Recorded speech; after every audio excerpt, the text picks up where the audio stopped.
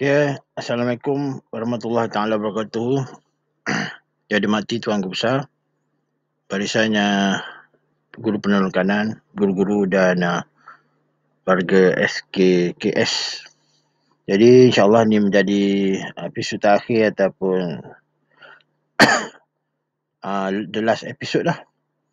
Uh, toolkit 1.63 senang semak kemahiran bimbingan coaching tandakan right pada kotak sebelah kanan berdasarkan pemerhatian uh, terhadap kemahiran uh, coach semasa sesi, kemahiran mendengar, adakah memberi perhatian penuh, tidak mencelah, tidak bercerita sendiri, uh, tidak uh, memberi nasihat, memberitahu, tidak membuat penilaian atau pengadilan, tidak berbincang sehingga membuat uh, selesai secara rasmi, membuat catatan, uh, kemahiran uh, menyoal, Adakah soalan tertutup, soalan terbuka, soalan menyiasat, soalan reflektif, memproses semula suatu isu dengan ayat yang mudah dipahami, menyemak persepsi, mencetuskan pemikiran koci uh, ke arah pelbagai pilihan bagi menghadapi isu yang dibincangkan.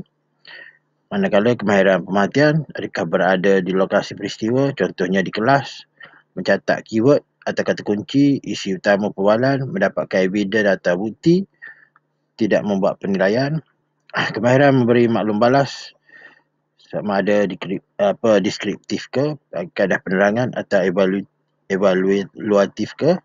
Evaluatif ni uh, sebagai penilaian kombinasi non verbal bahasa padan bahasa isyarat atau merumuskan hasil perbincangan membantu koci membuat keputusan uh,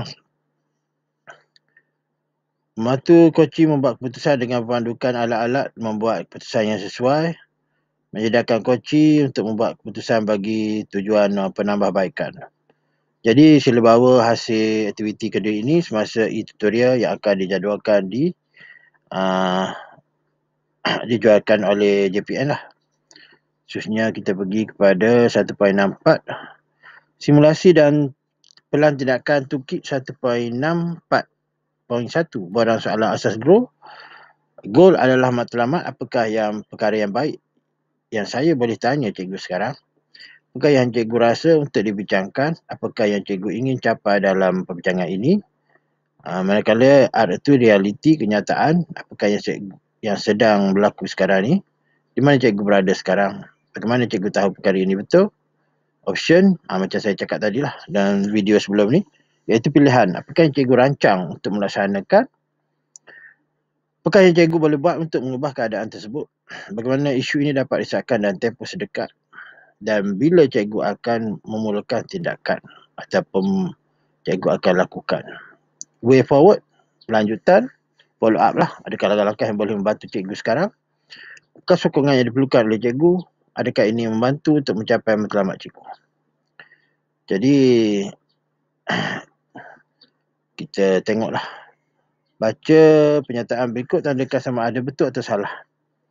Jadi salah satu daripada tiga objektif utama TSF 25 adalah, menjana pengetahuan dan kemahiran berfikir. Ha, jadi tik lah. Betul atau salah.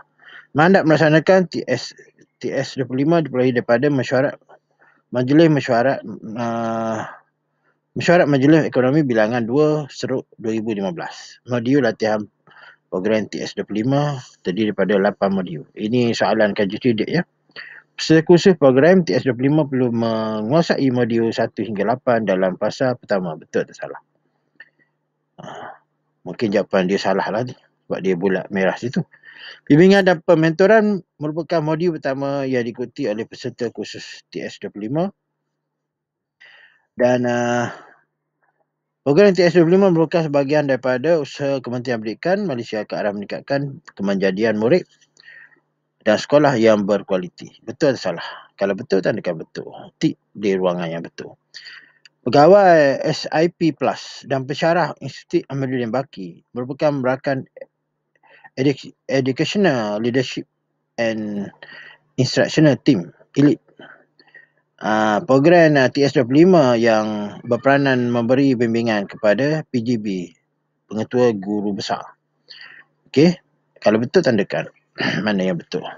Jadi persekitaran pengajaran dan pembelajaran atau environment PMP dokumen standard, pedagogi dan pentaksiran merupakan empat aspek yang ditekankan dalam konsep kemenjadian murid TS25.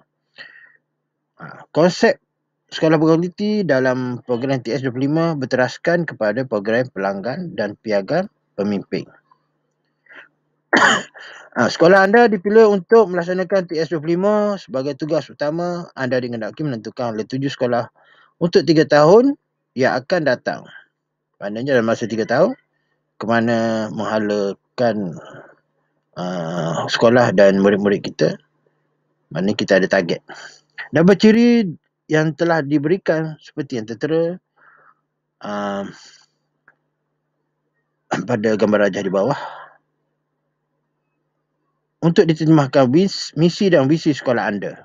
Apakah elemen yang berkumi ciri-ciri tersebut? Hasil akhir berfokus penggunaan ayat luas, umum dan ringkas tanggungjawab peringkat tinggi, kritikal dan mesti capai jika ingin menjayakan misi dan visi tempoh jangka panjang boleh bersifat kualitatif. Ini adalah KRA lah ni.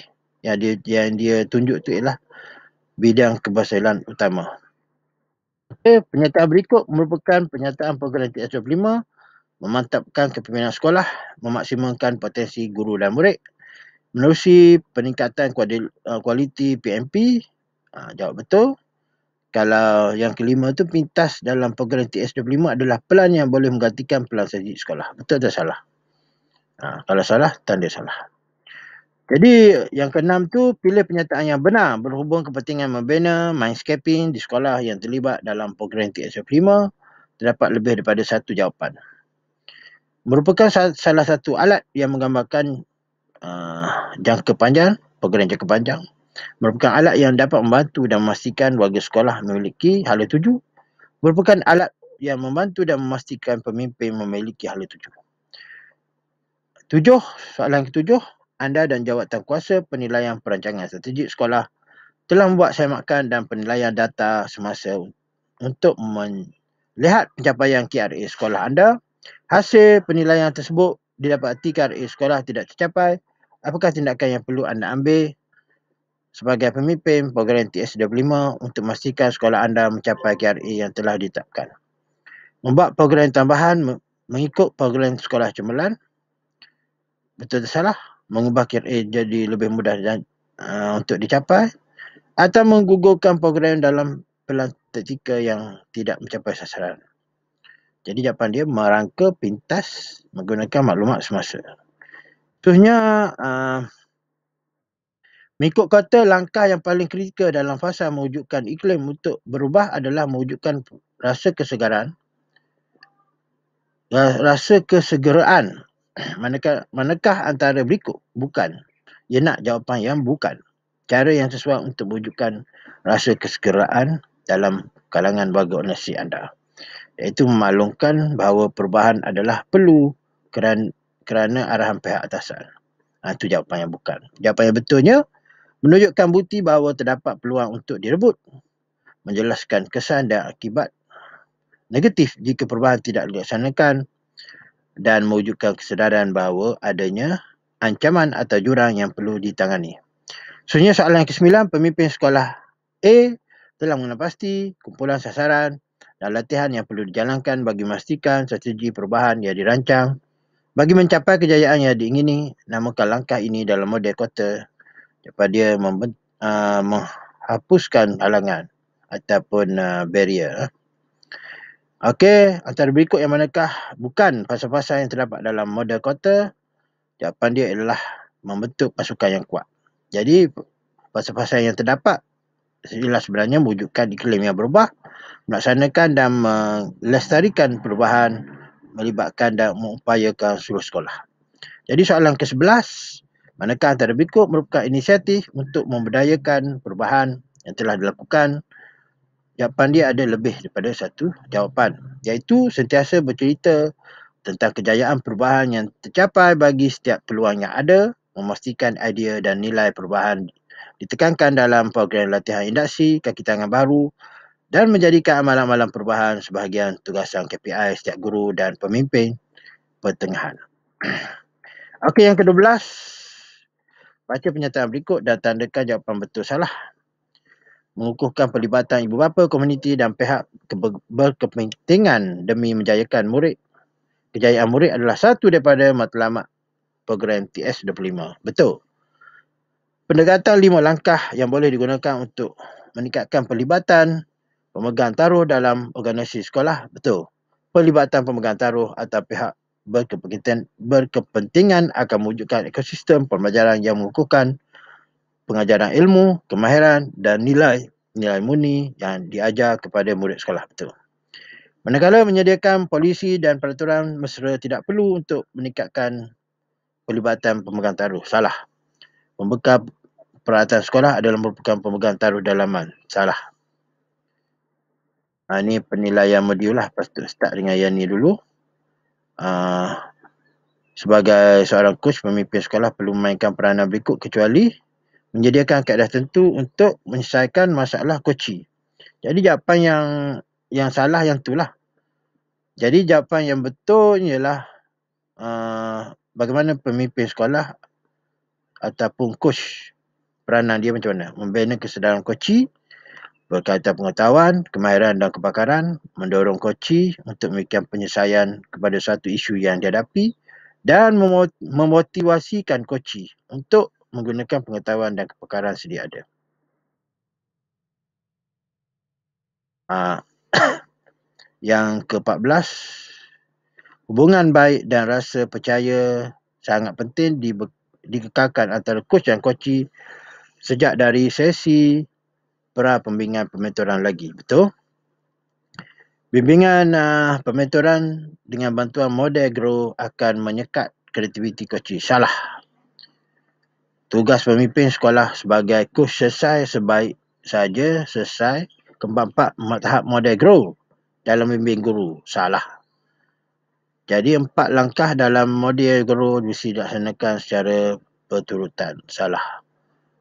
Ha, semasa melaksanakan sesi bimbingan dan mentoran, coach boleh mencadangkan kepada koci langkah-langkah yang boleh dalam diambil untuk mencapai matlamat yang koci hasratkan. Salah. Jadi yang betulnya ialah bimbingan dan pementoran dapat meningkatkan kapasiti seorang individu. Di antara kepentingan bimbingan dan pementoran ialah bagi meningkatkan peluang dan potensi untuk mencapai kejayaan. Jadi itu saja um, sesi briefing uh, modul dan sub modul TS25. Jadi saya memohon ampun dan maaf kepada Puan Guru Besar dan rakan-rakan GPK yang lain jika ada tersalah apa kesilapan teknikal yang saya lakukan semasa sesi briefing ini. Daripada sesi pertama uh, slide tidak nampak. Kemudian uh, tadi ada slide yang tertinggal. Jadi saya dah cover balik semua tu. Jadi itu saja. Jadi yang baik itu daripada Ta'ala dan yang kurang baik itu daripada kelemahan saya sendiri. Jadi wabillahi taufiq wa hidayah. Wassalamualaikum warahmatullahi taala wabarakatuh